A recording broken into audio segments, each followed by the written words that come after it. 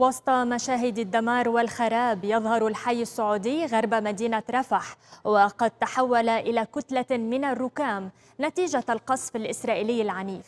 المباني المهدمة والشوارع المدمرة تعكس حجم الكارثة التي حلت بالمنطقة وسكانها تاركة وراءها مشاهد مؤلمة ومأساوية. انتشرت الصور ومقاطع الفيديو التي توثق حجم الدمار في الحي السعودي على وسائل التواصل الاجتماعي مما أثار موجة من التعاطف والدعم لسكان رفح تحت هاشتاجات مثل هاشتاج رفح تحت القصف وهاشتاج أنقذوا غزة. وشارك الآلاف من المستخدمين تعليقاتهم داعين المجتمع الدولي إلى التدخل الفوري لوقف العنف وتقديم المساعدات الإنسانية العاجلة. لنشاهد.